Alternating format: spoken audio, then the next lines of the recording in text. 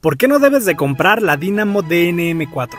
¿Por qué es Dynamo? No, ya en serio. Empecemos por decir que esta motocicleta de 400 centímetros cúbicos de dos cilindros suena muy prometedor, hasta que nos damos cuenta de que nos entrega 32 caballos de potencia, de los cuales 30 caballos están muertos y 2 están en fase terminal. Y es que a ficha técnica nos da 32 caballos, que esto de por sí ya es muy mediocre para un motor 400, pero realmente no llega ni a 20 caballos de potencia. Eso sí, trae 6 de velocidades para que vayas a 140 km por hora a tablero bien tranquilo. Aunque a GPS mediocremente te alcance 120 km por hora a duras penas y en un tramo largo. Estamos hablando de que esta moto es prácticamente igual de rápida que una Suzuki Gixxer 150 o una Pulsar 160.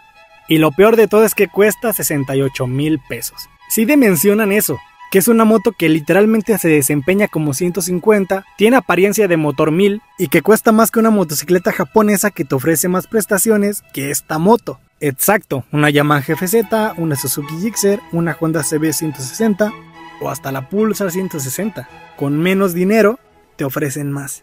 Mínimo no vas a andar vibrando, que por cierto esta motocicleta ya viene con el modo vibrador incluido. El torque no lo marca, pero posiblemente tenga 20 Nm de torque. Sale relativamente bien.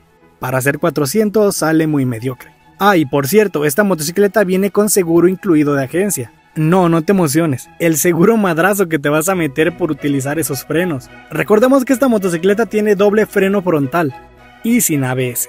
Esto lejos de ayudarte y fuera del tema estético, déjame decirte mi querido Dinameco que es muy peligroso. Imaginemos que vas en una calle de tierra, con tu Super Dynamo DNM4, se te atraviesa un Firulais y la tienes que frenar repentinamente con el freno delantero. Créeme que esa moto te va a mandar al piso, si es que no te vas de trompa. ¿Por qué? Porque le falta el ABS. Digo, tampoco es como que la moto sea tan rápida, pero para una emergencia es muy importante. Y este doble freno de disco lo único que va a hacer es que la llanta se te amarre y te tumbe. Sí, está muy cañón. Para lo único que yo le veo provecho a esta motocicleta es para un proyecto, que le quiten el motor de dínamo y le pongan un motor de helicóptero. Bueno, hasta que en un motor 150 de Itálica jalaría con madres esta moto. Pero en fin. Creo que está de más decir que la estética es una vil copia descarada, mal hecha, chafa y barata de la Ducati Street Fighter. Sí, sí está mal hechona. Parece que esta moto la armaron como en la escuela. Cada quien hizo su parte y la armaron juntos en el salón. Algo así se ve esta moto. Fea no es, pero bonita eso es personal. Ahora aquí les va un dato. Si quieres saber qué tan lenta es esta moto, Vortex 300R, Pulsar N250 contra la bestia de Dynamo.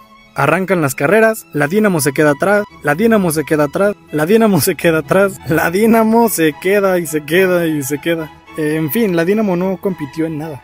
140 km por hora a tablero, 120 km por hora a duras penas y batallando, escupiendo aceite, saltando los tornillos, Dynamo DNM4. Y estamos hablando de que estas dos motocicletas que le ganaron a esta moto son más baratas. La itálica con un precio de 50 mil pesos y la N250 de Bayash con un precio de 60 mil, que esta última cuenta con inyección electrónica, ABS, iluminación totalmente LED, una estética agradable, no vibra tanto como la Dynamo, y eso que la Dynamo es bicilíndrica, más barata y hay más piezas, entre muchos otros factores por los cuales no sé quién se compra en su sano juicio una Dynamo. Pero entre todo lo malo debe haber algo bueno. Y tienen razón, el América. Pero volviendo al tema, como lo he dicho en muchos otros videos, si tienen la oportunidad de comprarse un Avento o una Dynamo, por favor desaprovechenla. Bueno, ustedes saben qué hacen con su dinero.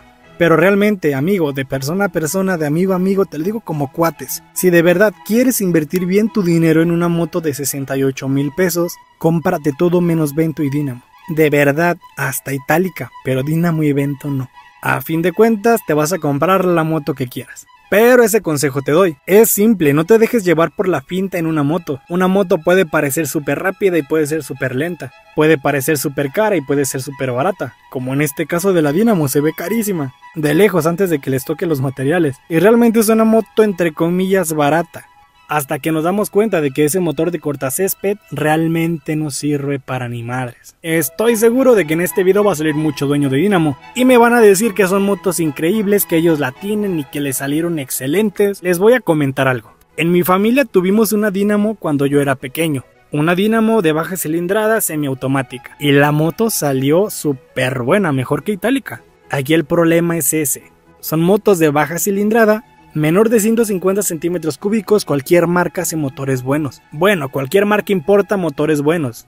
Itálica, Veloci, Vento, en 110 o 125 portan prácticamente todos los mismos motores, hasta Dynamo. Entonces no son tan malos, ¿por qué? Porque su tecnología es nula. Prácticamente son motores 100% mecánicos, el único eléctrico que tienen es el estator. El margen de fallo es mínimo y por eso no fallan tanto. Así que si tú tenías una Dynamo 150 o inferior, sí, te creo, si te salió buena. Pero después de los 200 centímetros cúbicos empiezan a fallar de todo, porque ya son motores provenientes de otras marcas en China. Los mejores motores de baja cilindrada los hace Lonsin y los portan prácticamente todas las motos de baja cilindrada, menos Vento y Dynamo. Por eso estas dos marcas están en el subsuelo compitiéndole a nadie. Por ejemplo, Vento le compite en ventas a Itálica, pero jamás en calidad. Shinerai contra Lonsin prácticamente y 100% me quedaría con Lonsin, o sea, con Itálica. Pero bueno, ¿qué moto puedes comprarte con 68 mil pesos? Fácil, N250, Pulsar NS200, CF Moto 250 Fon o cualquier otra de ese precio menos la Dynamo y las Vento. Bye.